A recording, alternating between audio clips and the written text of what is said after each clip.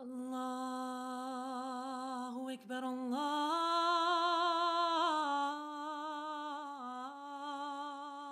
أكبر.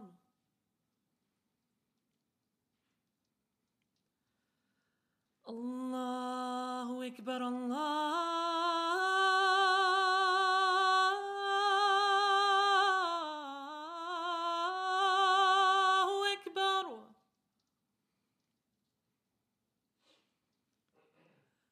shadow and love.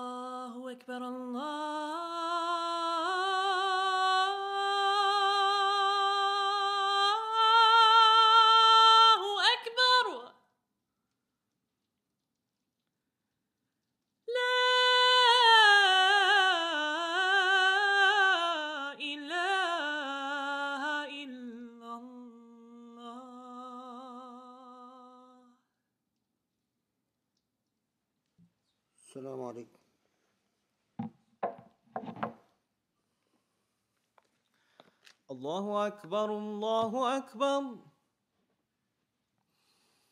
الله أكبر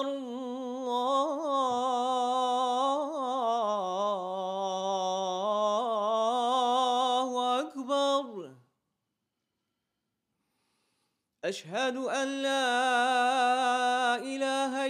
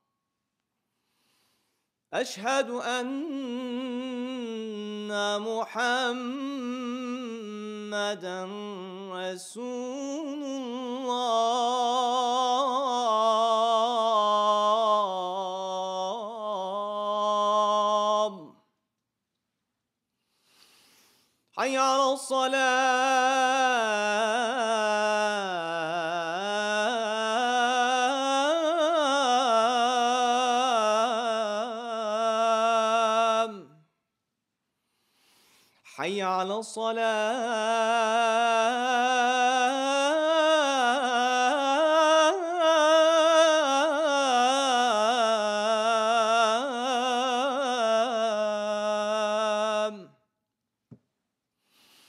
حي على الفلاح.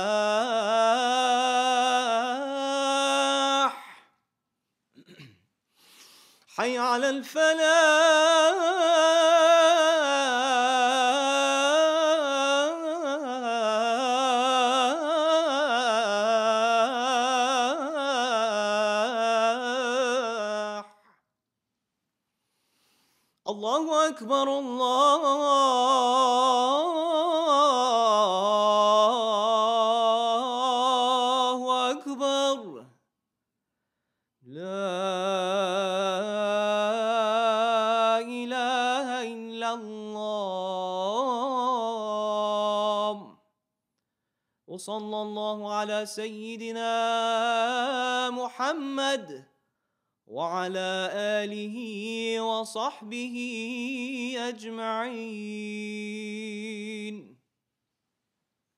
بسم الله الرحمن الرحيم.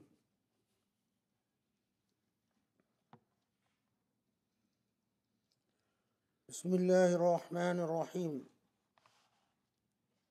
وسبحان الله العلي العظيم.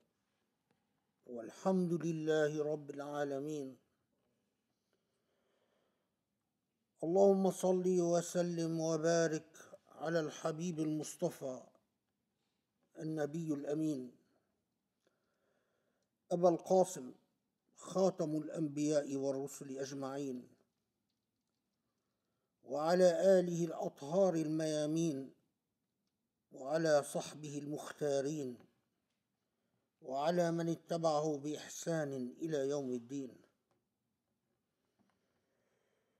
الحمد لله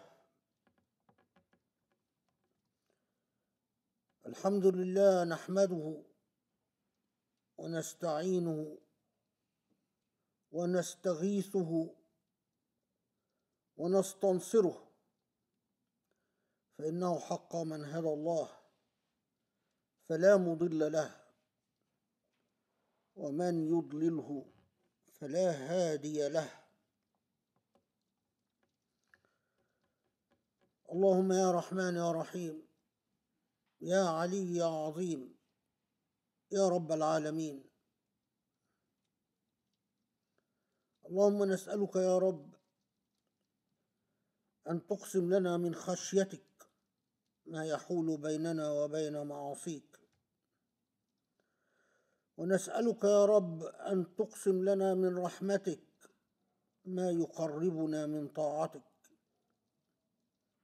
ونسألك يا رب أن ترزقنا من اليقين ما يهون علينا مصائب الدنيا وأحداثها يا الله.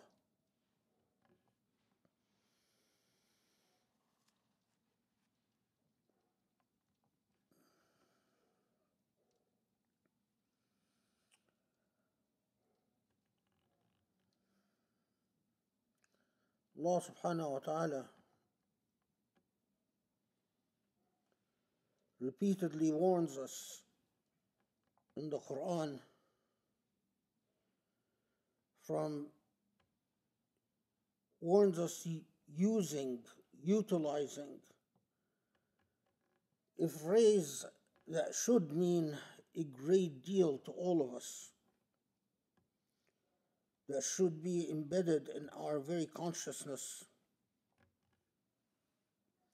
And Allah repeatedly warns us against al-fasad fil ard. Quite simply, causing corruption on this earth. And Surah Al-Rum, Allah subhanahu wa ta'ala تازس ظهر الفساد في البر والبحر بما كسبت أيدي الناس لنذيقهم بعض الذي عملوا لعلهم يرجعون.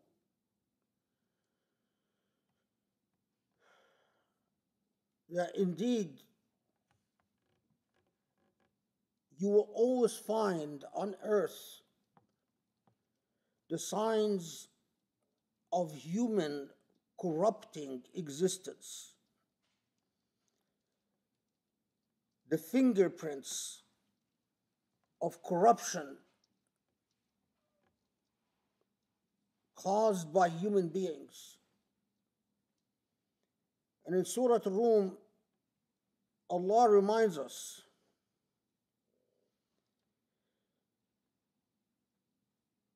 that these instances of corruption, instances or patterns, depending on how much, where, and when, in fact, it's clear evidence of what people hands have sowed, what people themselves have earned, the suffering that they have caused, and the suffering that they suffer.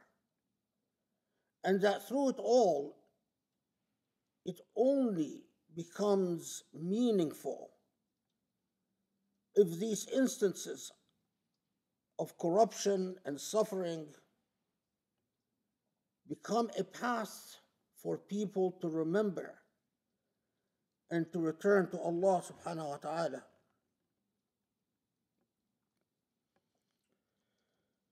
But doesn't Allah in Surah Al-Hud, Surah Hud?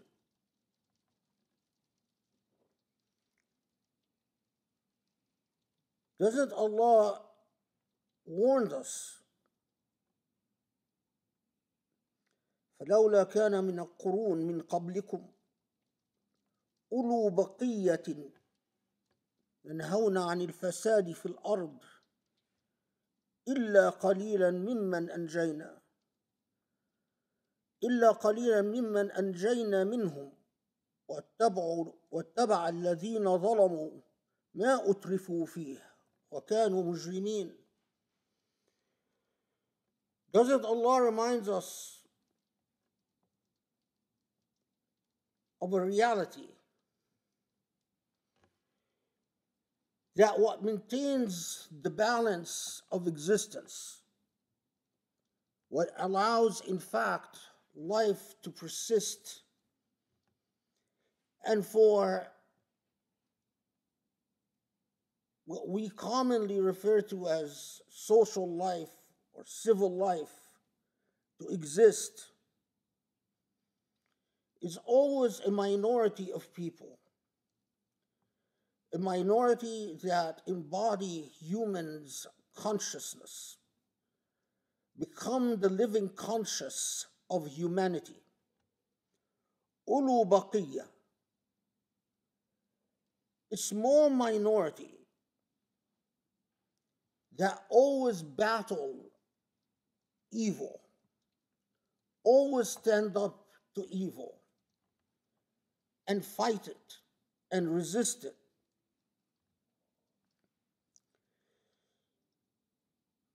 But what follows in Surah Hud so fascinating. Allah tells us that the unjust, which the context clearly shows, is the majority.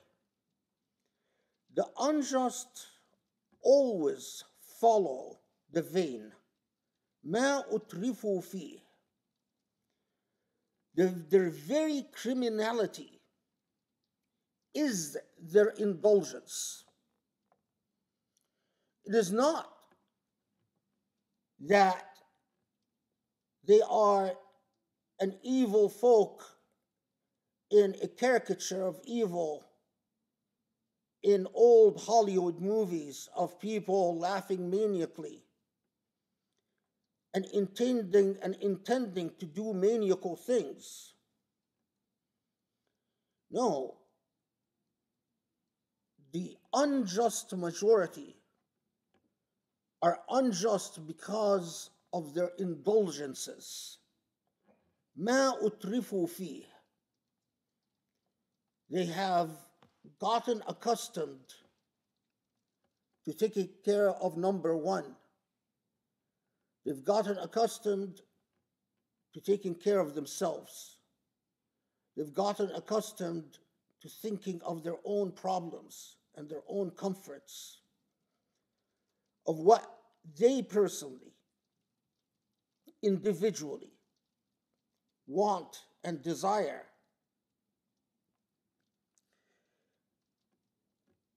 That is the majority. The majority knows that there is evil and knows that there is corruption on earth. But they think if they simply ignore it and focus on their own lives, everything will be okay.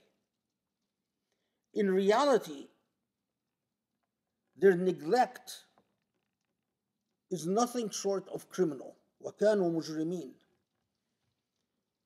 It is criminal because the very persistence of life on this earth, the very persistence of any measure of civility, morality, ethics, goodness, beauty,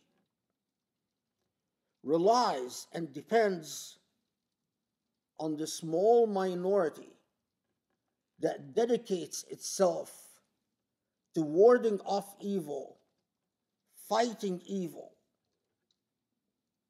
and insisting on a firm footing in goodness. The criminality of the majority is that they are leeches, they are free riders. They enjoy the fruit of that minority that sacrifices everything in order for life to be maintained and existence to persist.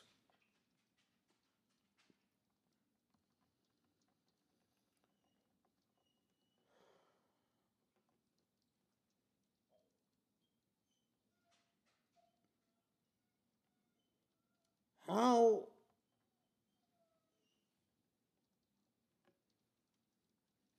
how much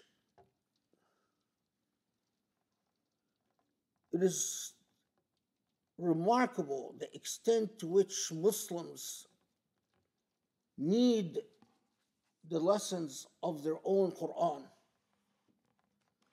If only, if only they would re educate themselves as Muslims and commit themselves all over again as Muslims.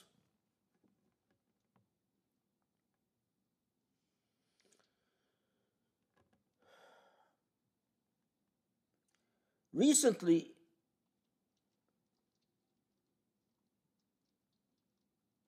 yet, once again,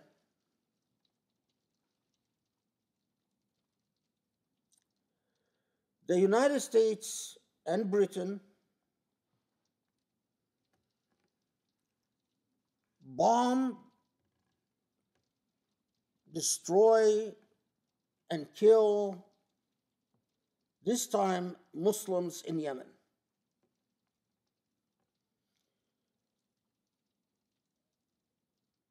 Of course, we didn't need to go through the facade. They didn't go to the Security Council. The rules of the game that the United States and Britain established,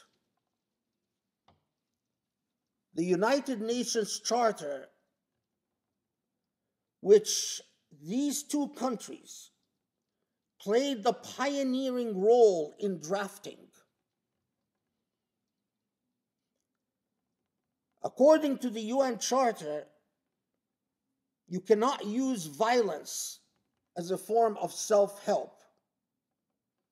According to the rules established by the United States and Britain in the Charter, you are supposed to take a problem to the Security Council.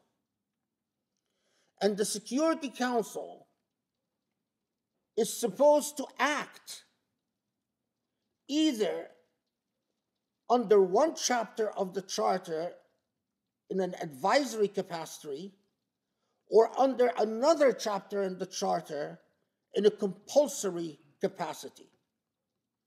But the rules of the game that the US and Britain established is that you go to the Security Council, you complain to the Security Council about a breach of peace. In Islamic terms, a corruption on earth. And you make an argument that this breach of peace represents a threat to world peace. In Islamic terms, a corruption on earth. And then the Security Council can either not authorize any military action, or the Security Council can indeed authorize military action. But yet again, for the millionth time, the United States and Britain and all the countries that supported them could not be bothered by the rules of the game that they established. They didn't bother going to the Security Council. They didn't bother having any significant or insignificant discussions in the Security Council. They didn't bother with presentation of evidence. They didn't bother with any of the legalities and directly resorted to violence again against a Muslim state. Now, of course, the United States and Britain say, well, look, these Yemenis are attacking commerce, and this is a threat to the world system. In other words, their argument is that the Yemenis are causing corruption on earth. And we have appointed ourselves as those who fight corruption on earth, al fasad fil ard.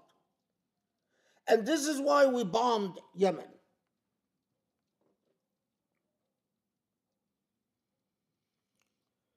Well, it's very interesting. Because the Yemenis have consistently argued that they are not interested in interrupting world trade or the freedom of transportation and movement in the world, that they target only ships that are Israeli, carrying the Israeli flag, or carrying merchandise to Israel. And their argument is also quite straightforward. Israel is engaging in a genocide in Gaza, and we will do everything possible to make this genocide stop. The United States didn't bother with the presentation of evidence.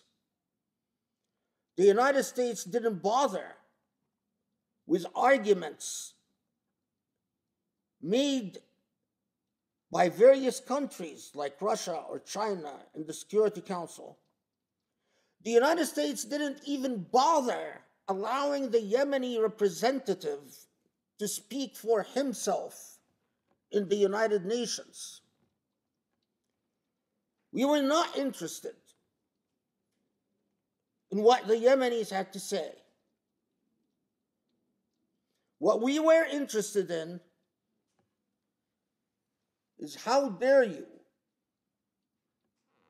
How dare you threaten the movement of merchandise to and from Israel? and we will bomb you, and we will claim self defense, an argument that any international law, any international lawyer, or any international law professor knows that the self defense argument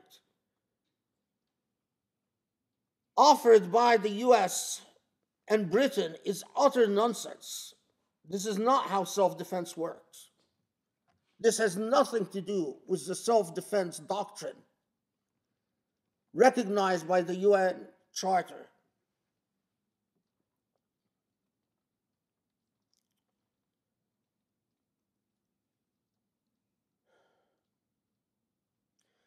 But lest we forget,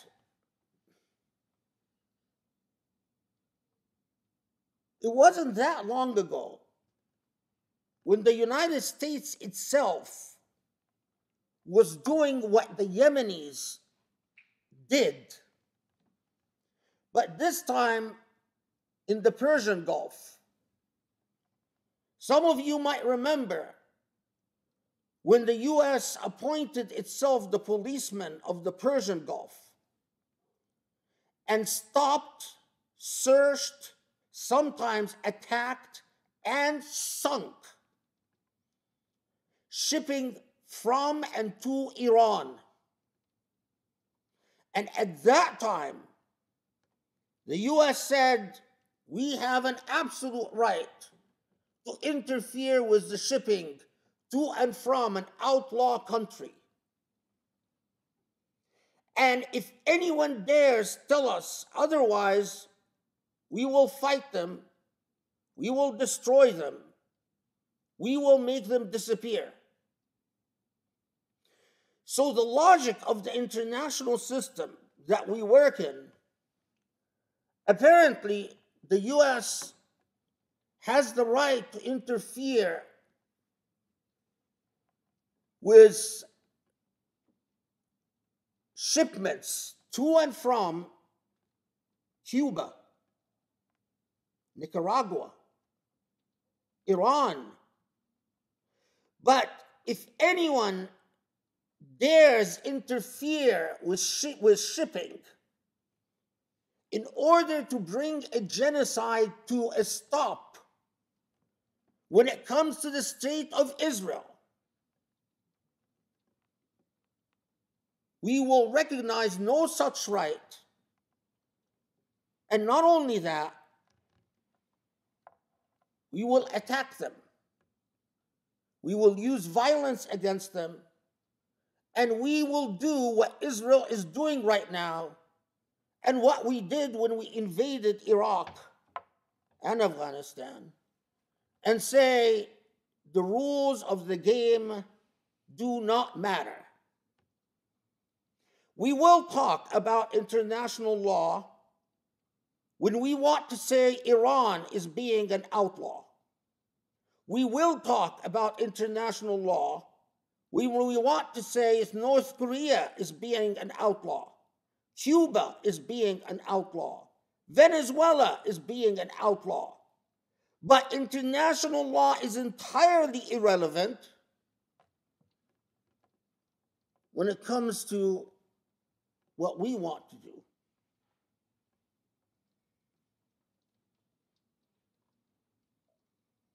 الفساد في الأرض corruption on earth. Truly a fascinating concept. Mind you, for me, there is nothing new about the hypocrisy of the colonial states building an international order and then completely putting it aside when they want to persist in their colonial aims. But what struck me about the bombardment of Yemen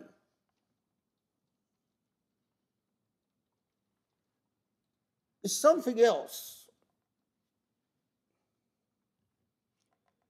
Western countries led by the US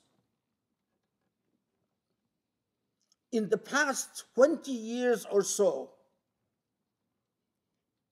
have made it habitual and common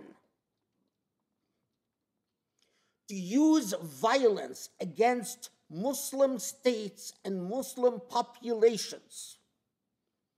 Look around the world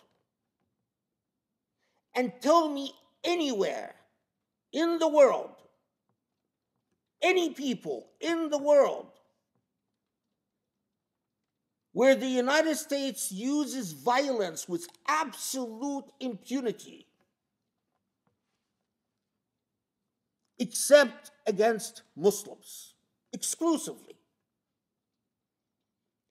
Violence against Muslims has become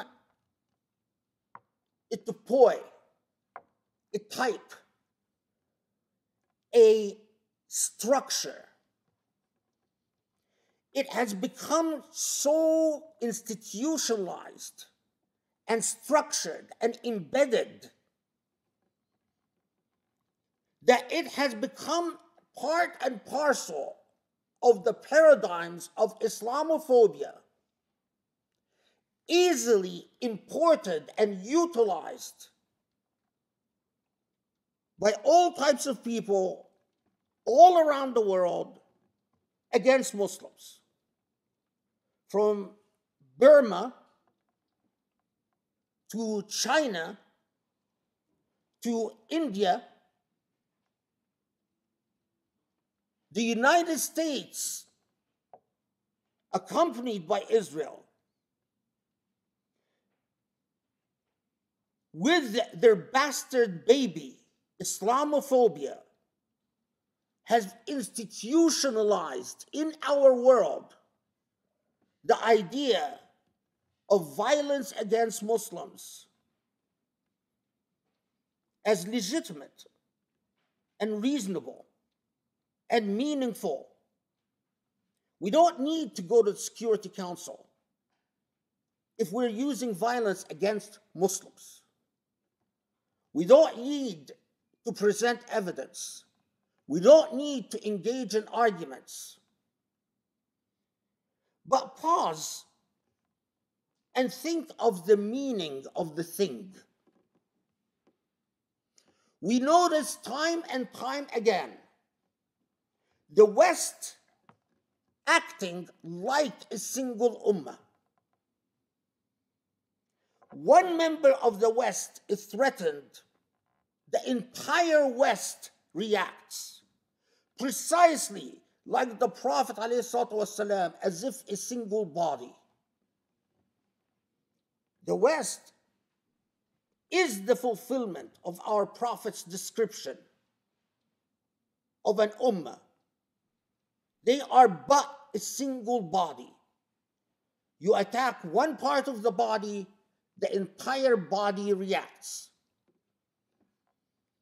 Canada knows that the United States has no legal right to bomb Yemen, but it doesn't matter because they act like a single body. So is the same with France. But it doesn't matter because they act like a single body. Britain has not deviated from American policy once since the 60s. Britain is always acting having America's back, so to speak. Whatever America decides, Britain is in there to support its buddy. A single ummah, a single people. The languages don't matter, the religions don't matter, nothing matters except a single strategic goal of dominating the world in the name of the West, whatever the West is racial, ethnic, cultural, a single ummah. But what is the lesson affirmed and confirmed for Muslims? The lesson is remarkable and absolutely repetitive and has been the same since the days of colonialism. We get to act as a single ummah. We get to define what is corruption on earth and respond to it. You Muslims, don't you dare think to act like a single ummah. You Muslims, we can slaughter the people of Gaza. And the only option that is open to you Muslims is to watch and talk about peace with us and talk about international law. India can slaughter the people of Kashmir. And don't you dare, Muslims, act as a single ummah. You are not allowed to be a single ummah. The reason that the US and Britain bombed Yemen is because Yemen set a very, very, very dangerous precedent. Yemen was reacting to the genocide in Gaza in a way that reminds us of the idea of a single ummah. We hurt for the people of Gaza, and if you attack the people of Gaza, you are attacking us. So we will take action. And the US and its other imperial friend say, Don't you dare. The Muslim Ummah united you are not allowed.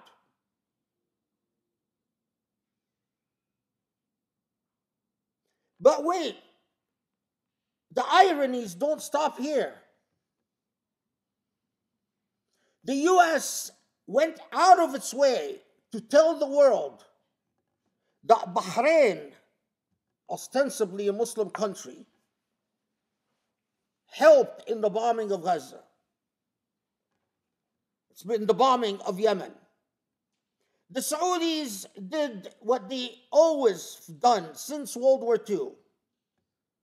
In public, express concern, and in private, offer all the help that the US wants.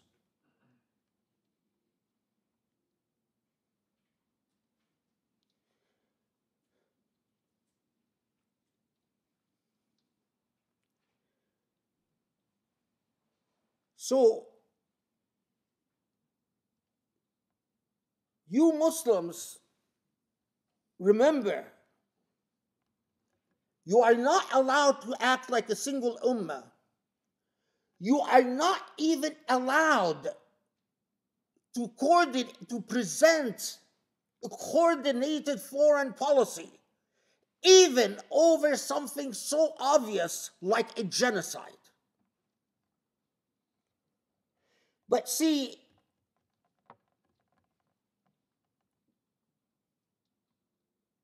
what is truly remarkable is what happens as the genocide is going on and as the United States bombs Yemen, telling Muslims, don't you dare even imagine that you can be a single ummah. Antony Blinken comes speaking to the media and says, I've had private conversations with Muslim leaders. And nothing that happened in Gaza, nothing that happened in Yemen is an obstacle to normalization of relations with Israel. I just came from talking to the Emiratis and the Saudis and the Egyptians and I don't know who else, the Moroccans, the Sudanese. And they all assure me the genocide is not going to hamper the Abrahamic Accords. We can keep yapping on about a meaningless concept like the two state solution. Doesn't exist anymore. We can talk, keep talking for the next hundred years about if Israel would kindly, nicely, if they would ever allow for a Palestinian state to exist somewhere. Meanwhile, we, we peer ahead with the Abrahamic Accords and the normalization of relations between Arab countries and Muslim countries and Israel and reward Israel for its genocide. The sad thing is, I completely believe Antony Blinken when he says they are all eager to normalize relations with Gaza and the genocide doesn't matter and the bombing of Yemen doesn't matter. It is not just that you Muslims are not allowed to act like a single ummah, like us, the US, Britain, Canada, France. But you Muslims can't even trust one another. We are going to embed in your very consciousness that you are traitors to one another that you are selfish and self centered and egocentric. These are the rulers we want for you. And this is the way we want you as a people.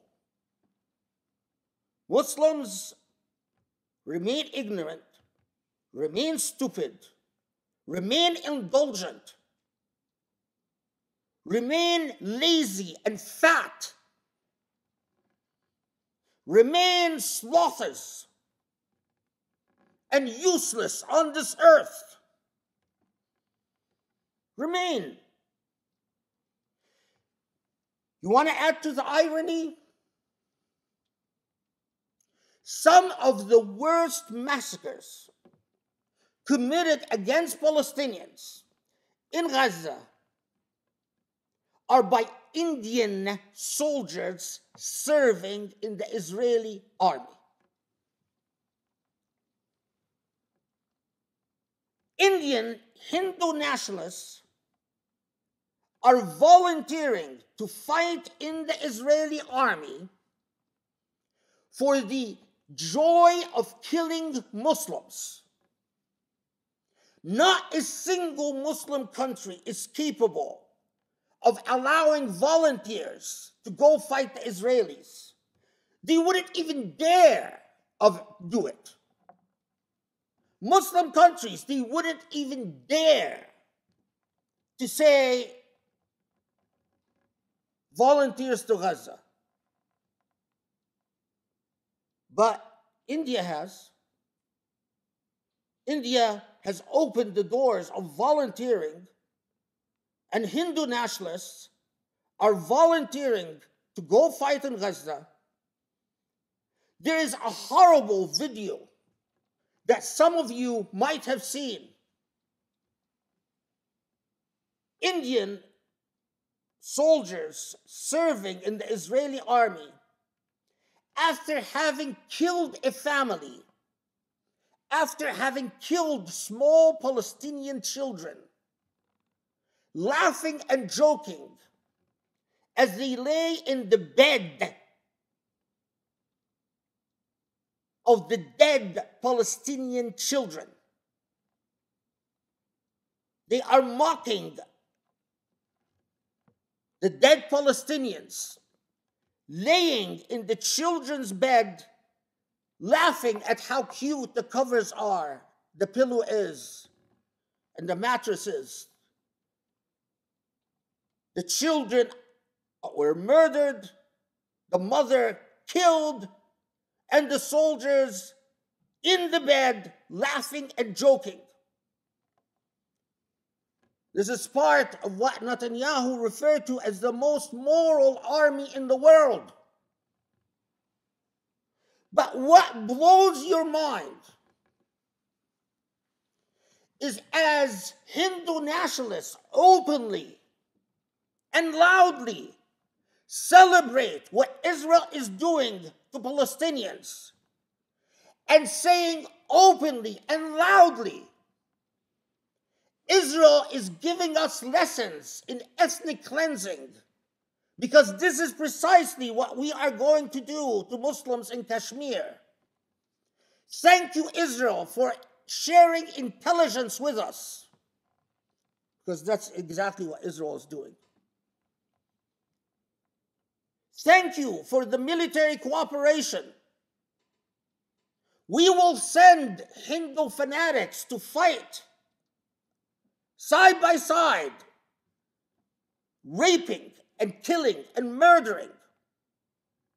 Because this is what we intend to do to Muslims.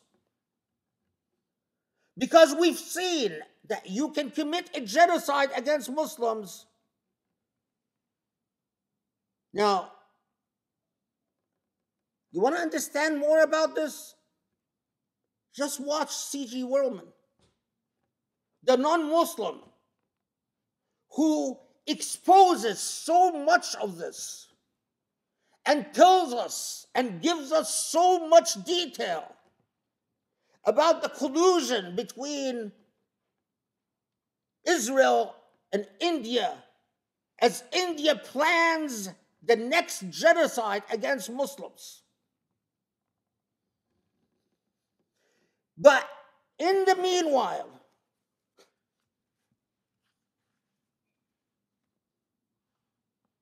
Not, does, not only does Antony Blinken tell us that the Abraham Accords are alive and well, and that all these Muslim countries are eager to normalize. One of the most Muslim hating individuals on the face of this earth is an Indian minister a woman called Smriti Zubin Irani. She's the minister of women and children. She is on record calling openly for a genocide against Muslims. And as Yemen is being bombarded, and as Antony Blinken is saying to the world Muslims don't care about the genocide. Don't worry. What happens with Smriti Zubin Irani? She is invited and welcomed by MBS in Saudi.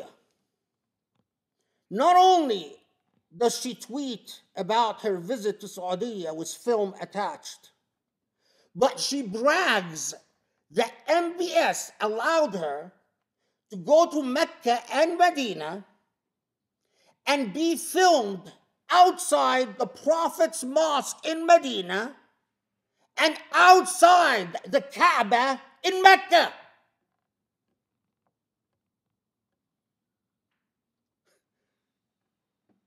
Amazing! So wonderful. Yemen is bombed, it's genocide in Palestine. The Indians are ready for a genocide in Kashmir. And what does our great Muslim guardian of the two holy sites do?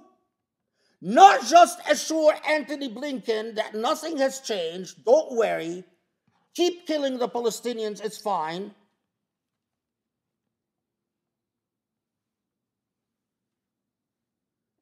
But we will invite and welcome a psychotic, extremist, fanatic Indian nationalist in Mecca and in Medina and say, Welcome, we love you.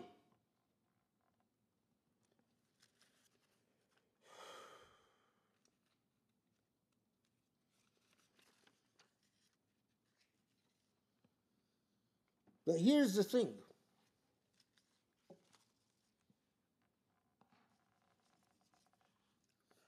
what are Muslims busy with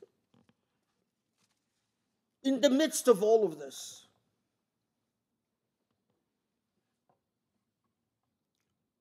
Muslims choose this time to talk about, well, wait, but the Houthis are Shia. They're Zaydi. We don't care and if they support Palestine. Their support of Palestine, they're putting their lives on the line. They're allowing themselves to be killed, butchered, is just part of a Shiite conspiracy to dominate this world. They are agents of evil Iran because Iran is not a country that has been in the region forever, is not a Muslim country that is part and parcel of the Muslim world. No, Iran is evil. And part of the is worse than Israel itself. We don't care if Hezbollah keeps attacking Israel, Israel every day and losing martyrs every day in their war to liberate their land from Israeli occupiers, mind you.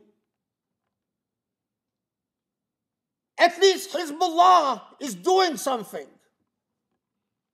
Egypt, Jordan, Saudi, the Emirat, what are they doing? But no, it's all an act. It is those evil Shia. The Shia, once again, are launching a conspiracy to kill Sunni Islam.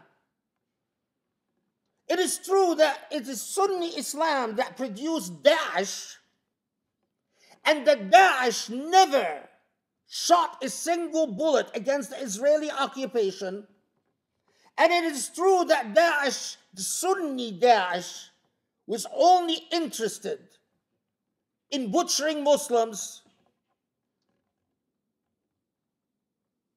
But it is Iran and the Shia who are the real danger to our existence.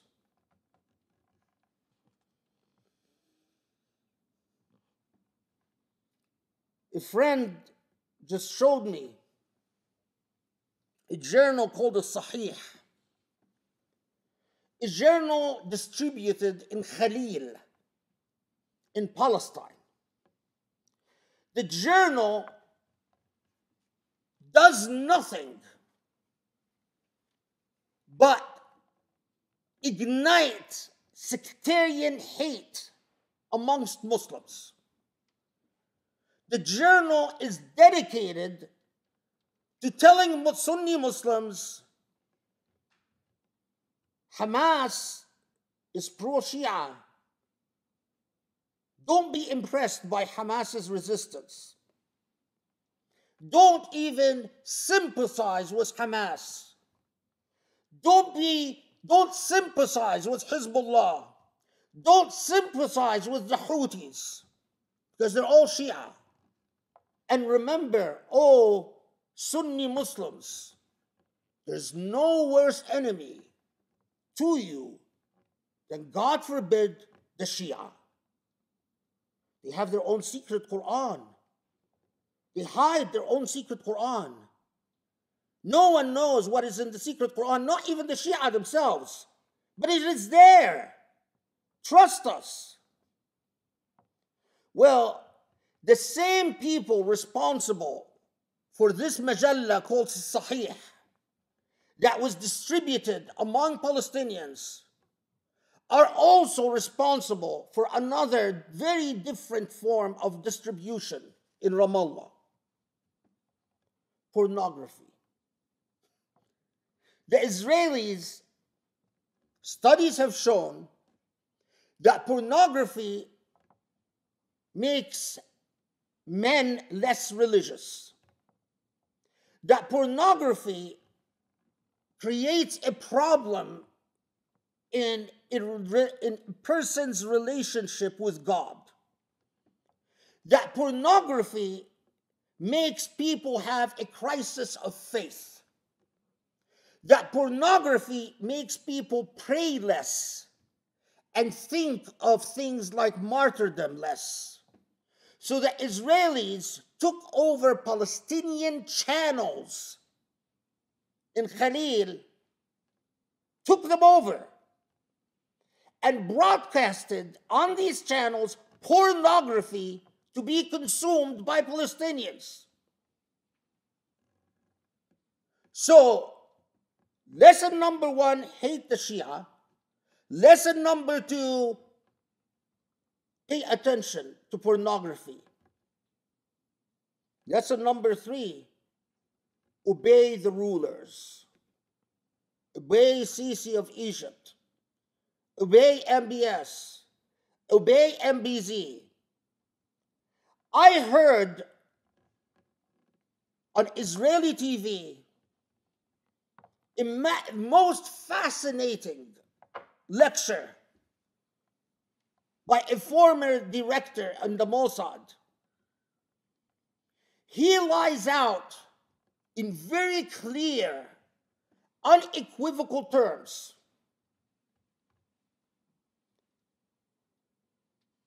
that the form of Islam that the Emiratis want, that the Saudis want, and that the Egyptians want, and that Israel wants. He says, I have traveled wide in the Muslim world. I have met all these leaders. And you know what? We are all agreed on the form of Islam that we want. We want Ijami Islam, Madkhali Islam, Hamza Yusuf Islam. He didn't say Hamza Yusuf, I'm adding that. But it is, in effect, what, what he's describing.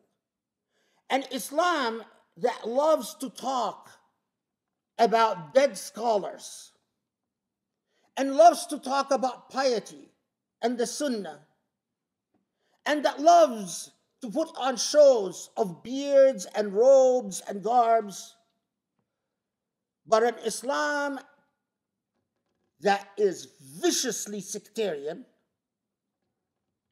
hates the Shia with a passion,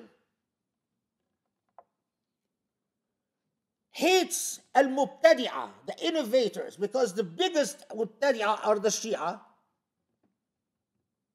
and an Islam that says whatever the ruler says goes.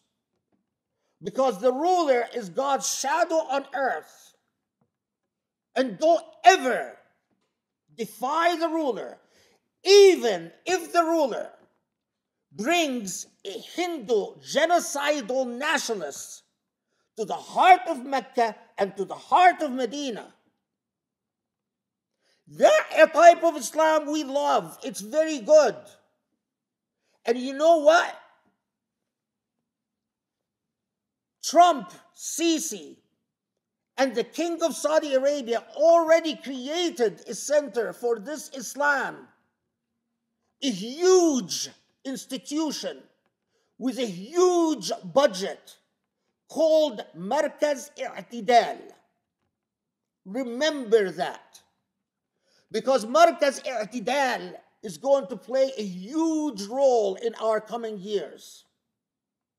Markaz I'tidal does nothing night and day, funded by millions of dollars. This is the famous picture with Trump and the King of Saudi Arabia and Sisi, uh, their, their hands on a globe. That was the opening of Markaz I'tidal. Markaz I'tidal has Saudi scholars, Egyptian scholars, Yemeni scholars, Israeli scholars, American Zionist scholars, British Zionist scholars, French Zionist scholars, all paid millions of dollars. And Markaz I'tidal, I'tidal means moderation in Arabic, doesn't teach I'tidal moderation when it comes to the Shia. No. When it comes to the Shia, Markaz I'tidal is affirmatively homicidal. The only good Shia is a dead Shia. Shia are hardly human beings. Murder them without a second thought. That's Markaz I'tidal. But what does Markaz I'tidal do? It also talks about the evils of Hamas, the evils of resistance, the goodness of scholars like Bin Bayya, Hamza Yusuf's teacher. How these are the true scholars of Islam. The evil of a Yusuf Qaradawi, the evils of a Salman Oda, the evils of all the scholars rotting in prison and how wonderful and amazing and learned and enlightened the ones who teach obedience. Markaz I'tidal says Muslims should not care if Israel transfers Palestinians out of Gaza or out of the West Bank. After all, it is their land. In fact, Muslims should just sacrifice, make the sacrifice, so that Israelis can feel secure and stable. And we should embrace the Israelis with open arms. And the Abraham Accords is God's true will on earth. The resistance of Hamas isn't. If you haven't been if you haven't read the literature of Markaz I'tidal, I am not worried about the literature of Markaz I'tidal. I am worried about the millions of dollars that go out of Markaz I'tidal to sponsor scholars or semi scholars or pseudo scholars and imams everywhere in the United States, France, and Britain. millions of dollars so that the US can bomb Yemen and we do not even think to pause and say, wait, they are acting like a single ummah. What's wrong with us? Why is it that when it comes to us actually living embodying the teaching of the Prophet والسلام, that's radical, that's fanatic, that's just not being realistic. But they can do it, and they have a right to do it. أقول قولي هذا أستغفر الله لي ولكم أسأل الله يستجب لكم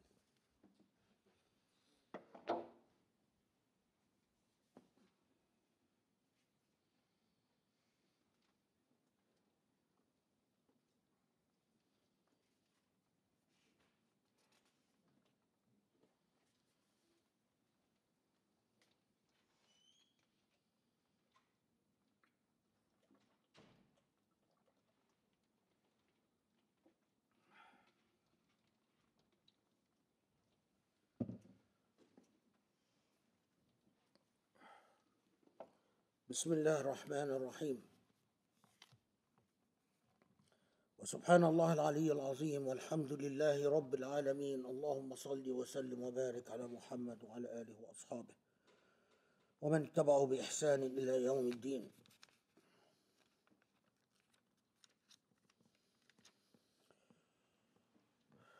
Hindu nationalists are openly saying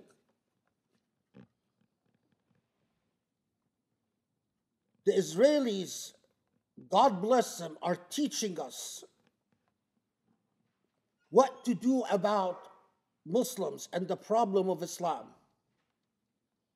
Openly talking about how Islam is a cancer, a 1400 year old cancer, and that the Israelis excel in fighting this cancer, and that we must learn from them and carry out genocidal policies. You look around. Was it a Muslim nation that brought the case before the International Court of Justice? No, it was South Africa. What are the nations that joined the lawsuit against Israel in the International Court of Justice? Muslim countries? No. Has Saudi Arabia joined? No. Egypt joined? No. The Emirates joined? Absolutely not. We are busy talking about how evil the Shia is and how evil Iran is. A country that has been in the region. The Persian people have been part of this region for thousands of years. And we are talking as if somehow the Persian people came from a foreign planet. They have been in this region as old as the Arabs and as old as the Egyptians and older than the Israelis. And you better figure out a way to coexist and to live and to cooperate and to integrate them in a single ummah. Otherwise, you will remain a laughing stock to your enemy. Otherwise, genocides will continue being perpetrated against Muslims decade after decade after decade. And then non Muslim countries like South Africa would be the ones to vindicate the rights of Muslims and what is the collective effect of all of that on the Muslim psyche, on that feeling of being defeated and a broken people.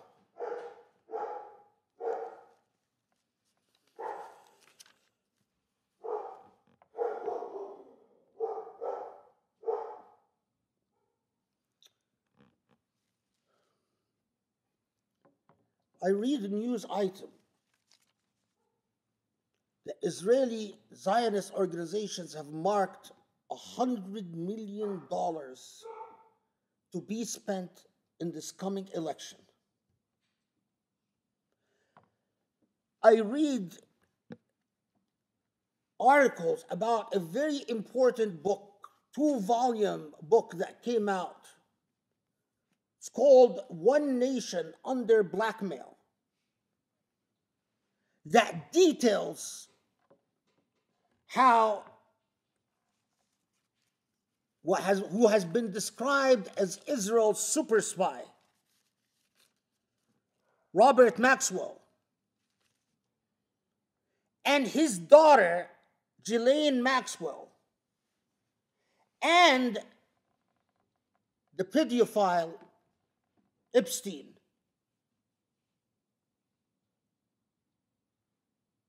Have dedicated all their efforts on creating files of sexual improprieties to blackmail leaders, Muslim leaders and non Muslim leaders. Everyone from Trump to Clinton's to MBS to the entire entire what of the Emirati government offering them the most beautiful women then filming them having sex with the most beautiful women and because these women are underage then blackmailing them for Israel's best interest.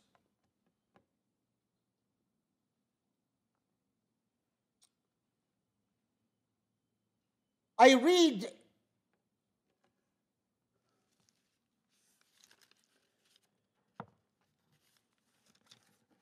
there is a book called Return to Mecca by a man called Dennis Avi Lipkin.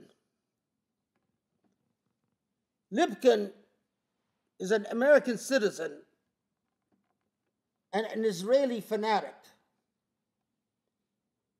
who openly says Israel should not just be Eretz Israel from the Nile to the Euphrates. But the only way Israel can be safe is if in due time we occupy Mecca and Medina itself.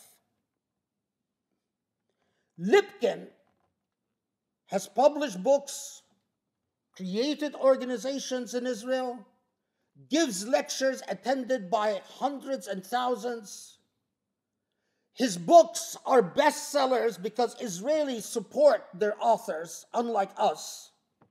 You can't get a Muslim to just spend money $10, $20 in supporting a book. But Lipkin is supported by millions of dollars.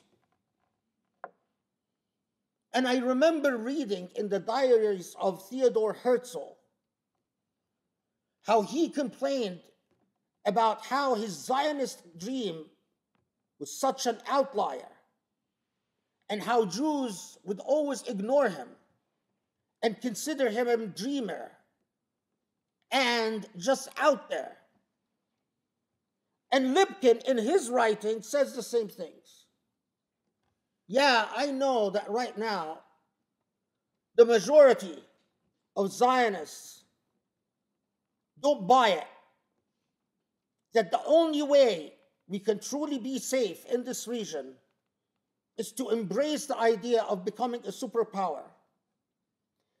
These countries, Lipkin says, in a book that you can buy and you can read, but I know that Muslims don't buy books and don't read. In his book, Return to Mecca, he says, We know that these are paper armies. We can defeat the Egyptian army in two days. They're corrupt to the core. They don't even know how to use the weapons they own.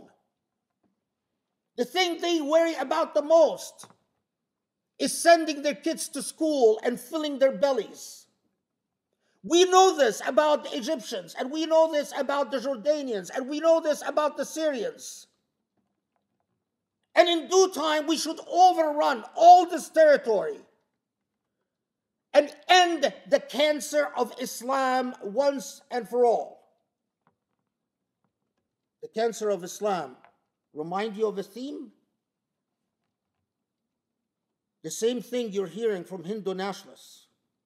The same thing we heard from Serbian fanatics and war criminals as they opened up the rape camps of Bosnia. The same thing we heard from the Burmese military as they slaughtered thousands of Rohingyas. The same thing we are hearing from the Chinese officials as they harvest the organs of Muslims.